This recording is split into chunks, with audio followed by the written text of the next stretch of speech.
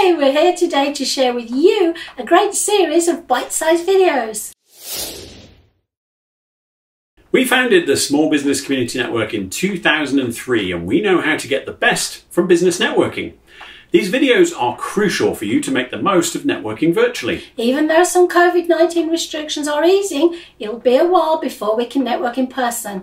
Virtual networking is here to stay, so make sure you're not getting left behind. Our first module is called How to Look Good on Video and covers everything to ensure you look like a professional at your next virtual networking event.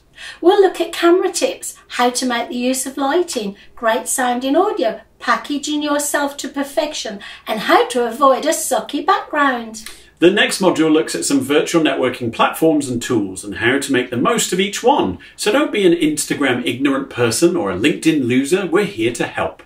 If you want to be the business that stands out from the crowd, you have to watch these videos.